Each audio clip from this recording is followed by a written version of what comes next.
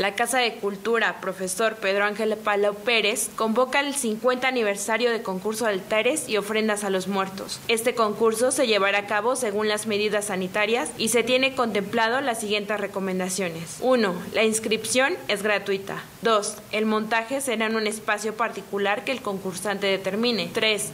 Para poder participar, la ofrenda deberá estar terminada el 27 de octubre. 4. La calificación del jurado será por medio de imágenes fotográficas. El costo del fotógrafo e impresión de las fotos serán cubiertos por la Secretaría de Cultura del Estado de Puebla. 5. Las fotos serán expuestas en Casa de Cultura del 30 de octubre al 2 de noviembre y podrán ser visitadas por el público en general con las medidas sanitarias. Para mayor información, consulta la convocatoria.